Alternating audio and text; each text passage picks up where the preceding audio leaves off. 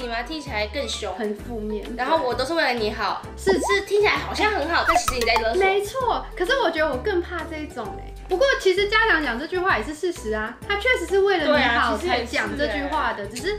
真的是为了你好吗？这是家长的角度觉得我是为你好，可是是不是真的为我好，应该是由我自己来决定。而且这句话其实不限于亲子之间的关系。打开我们是三个麻瓜，我是小兵，今天我们要进的是麻瓜调查之情绪勒索排行榜。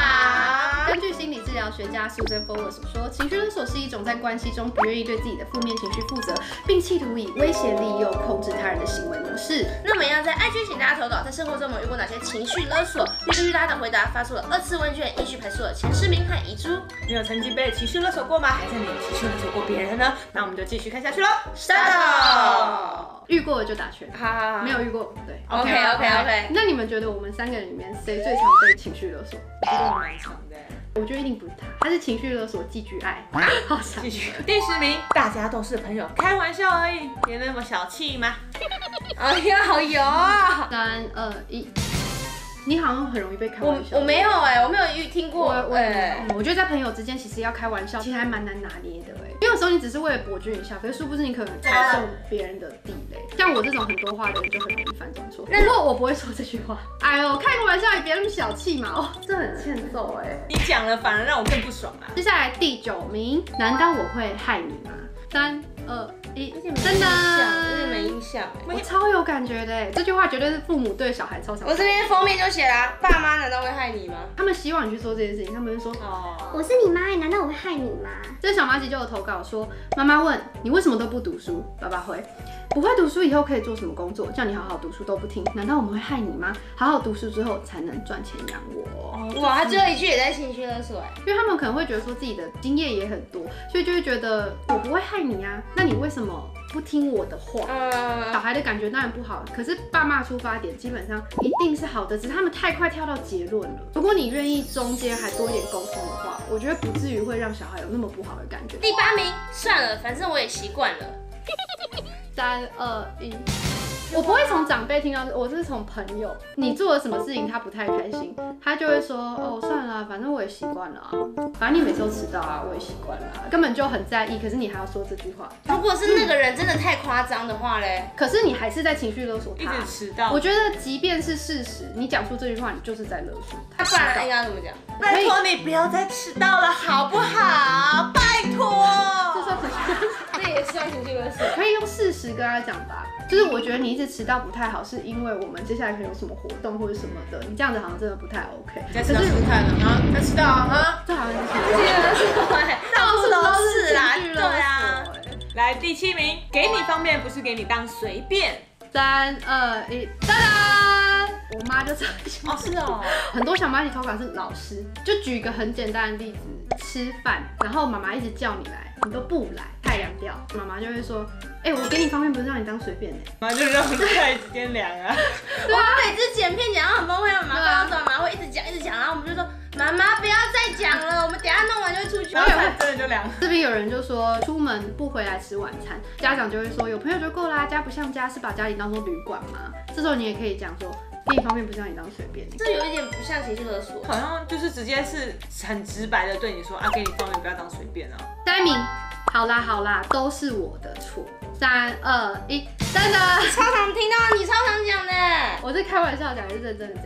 都有，我是常听我妈这样子讲，我妈会说千错万错都是我的错。如果是现在我讲出来的话，我会觉得我不想要吵架，我未必觉得是我的错，可是我可能也不觉得是你的错，可是在我心中我也没办法定夺，加上这继继续下去可能会吵架的话，可能就会讲这句话，可能讲这句话会才吵架。那你觉得如果已经在争执了，然后两边都没有一定的讲法的时候，你要怎么办？有没有觉得都我的错了，都我的错了，好，就这样了。这这个太差了，直接暴怒了，这个态度好像不行。那你要怎么高 EQ 的面对这个状况呢？我们两边都先冷静一下，先冷静一下，我们过一个小时再谈。不可能啊，双方都已经那么那个。难怪有些人会说，我觉得再争执下去也不是办法，让我们先冷静一下。我之前看书的时候，你不要说你错我错，你就可以跟对方说，也许你是对的，这样对方听起来可能就会觉得，哎，嗯，那我是对的，好像不错。可你心里其实觉得是说，我没有觉得你一定是对的。哎，教大家不错，也许你是对的。第五名，你去我就去。哎，我没有想过这个事情绪勒索。好三二一。他常听到的啊，超在朋友常听到的啊。我就觉得把决定丢给别人去做，其实还蛮不负责。可是我会觉得，如果我被这样子讲，好像是哦，那他好像很很喜欢我，就是他会觉得我去他才要去，我不去他不想去了有些补充的人就是说，如果你不去也没有关系啊，只是我比较孤单。啊。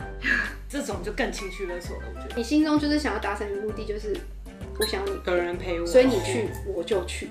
那你觉得每次补充一个说啊你不你不去也没关系也没关系这句话算情绪勒索吗？我觉得有一点，我觉得因为没关系这三个字，因为没关系是对不起，然后哦没关系啦，所以就好像我做错了什么东西，所哦以也没你没有来也没关系，但是真的好难，所以其实就是不要把自己的意图强加在别人身上，所以你只能单纯的问人家意愿，然后要不要去就再说。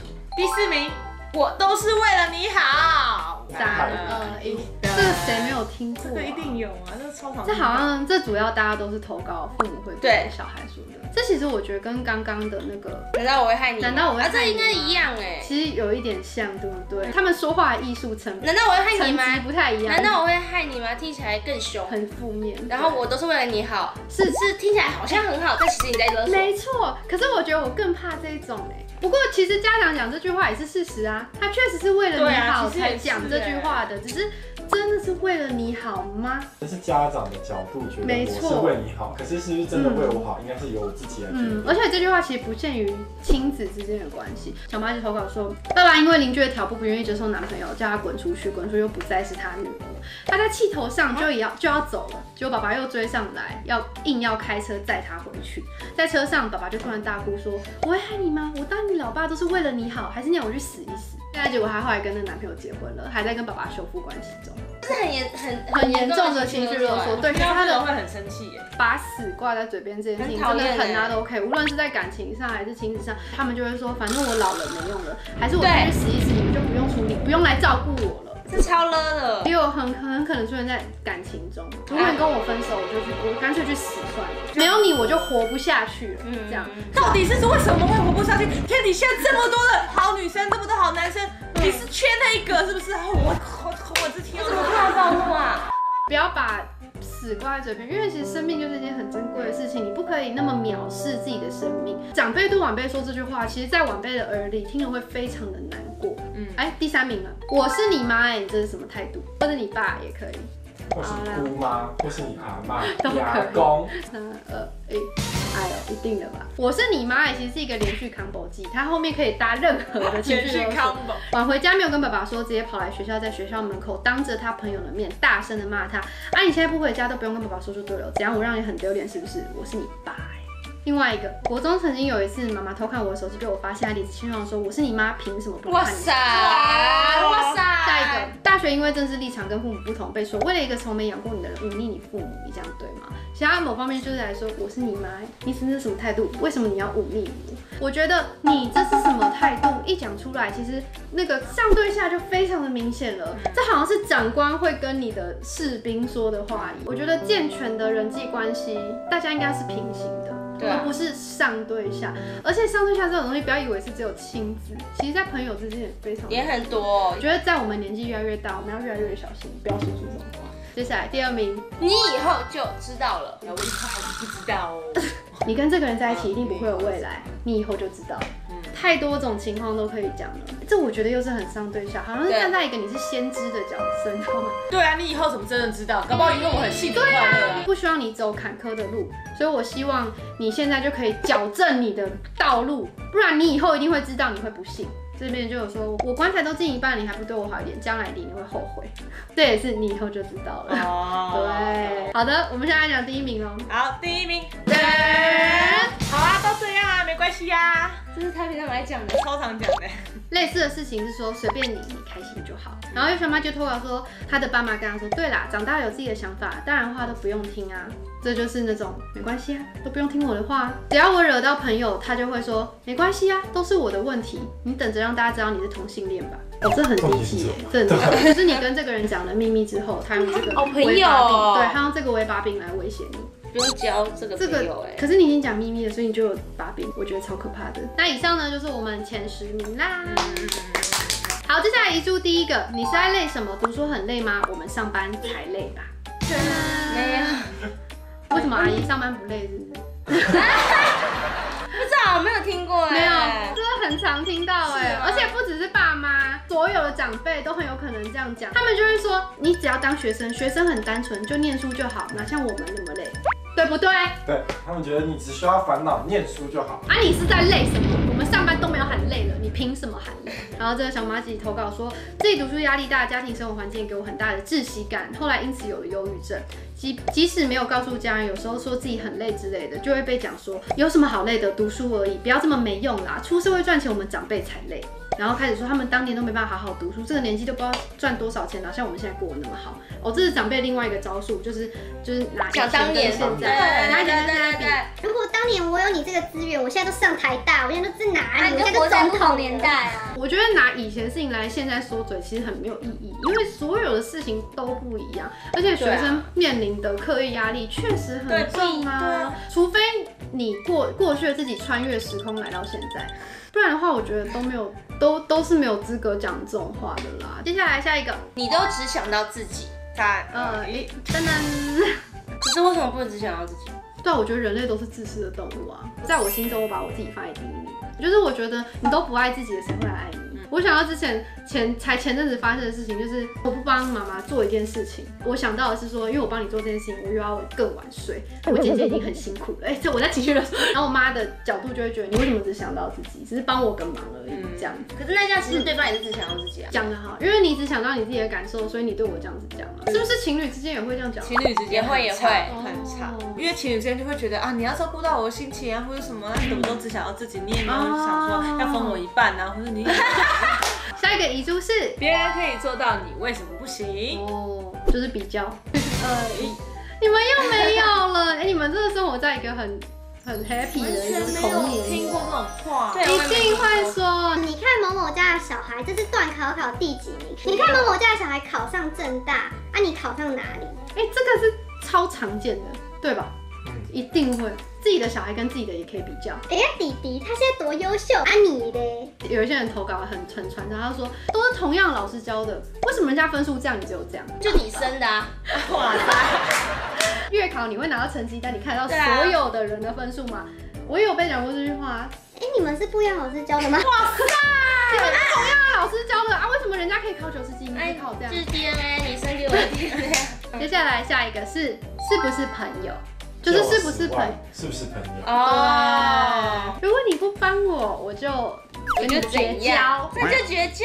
所以所以每个人都是从小就会开始勒索人，哎？这个不会是与生俱来的吧？人性本恶派一定会觉得。对啊，我觉得人性本爱啊。人性本爱。就是从婴儿，你就是情绪勒索王，你一直哭哎。婴儿确实是情绪勒索。你想要干嘛？你不给我我就就哭啊！可是他们又没有要表达，他只能用哭来表达。所以从那时候，我们就人类就已经有一个情绪勒索的潜在基基因了。其实我觉得婴儿不情绪勒索，你才要担心吧。如果他都不反应，他可能就饿死哎、他就这样，他就想大便了，大出来了耶。因为你从情绪勒索得到了好处，从今以后你就懂这一个是一招哦。有哭的孩子有糖吃哦。对对对对对对，会哭孩子会哭的对对对。可是这是不对的，所以大家还是要注意一下这些话。如果你有不小心这样子就对人家说，其实对人家来说可能就是心上负担哦。最后一个遗珠是，反正有没有我都没差。这个是那个自我放弃的类别，哎，我觉得方方鱼是自我放弃的类别。例如说，反正我就是没有用啦，反正我就是烂，这样哭，反正我就是烂啦、不，我是记得毛笔。哦，他那时候就有说，反正我就是烂男、你们都厉害，都很厉害。对对对对对，他们是打那个悲情牌，反正我就是个累赘这种感觉。可是呃，帮芳芳雨澄清，他很少讲这句话啦。所以呢，以上就是我们所有的遗珠。那接下来其实除了我们刚刚上述，其实比较常讲到亲子关系啊，然后朋友之间、同才之间，那当然职场也是，职场老板是会怎么情绪勒索？大家一起努力撑过共体时间。很多人对共体时间这四个字超级感冒。然后第二个是我是因为看好你才把工作交给哦你。哟，不要给我啊！超了，超了，多老。老。然后最后一个，哎、以你的能力一定可以的，轻轻松松。哎，我超讨厌听到这种话的。这句话投稿的小麻吉，他讲了一个让我很认同。他说，其实这句话忽略了背后他努力的过程。对对对，因为你能力好，一定轻轻松松。听起来不是鼓励，会让你更有压力。嗯，然后在感情上的情绪勒索会说，你是不是不爱我了？这段感情只有我在付出，你再这样我们就分手。哎、都遇过？有听过吗？你讲过。以，上就是我们整理出来的情绪勒索表排行榜啦。好的，谢谢小马吉对于这次情绪勒索的问卷非常踊跃的回馈啦。其实我觉得在一段关系之中，无论是哪样的关系，大家或多或少都会被情绪勒索过。不过真的，如果你被情绪勒索到觉得快要窒息的话，应该要勇敢的对对方说不，就是要跟对方说，哎，其实我觉得你这样子讲我不太舒服。如果你不说，对方可能都不知道他正在情绪勒索你。适时的沟通也可以避免情绪勒索的状况。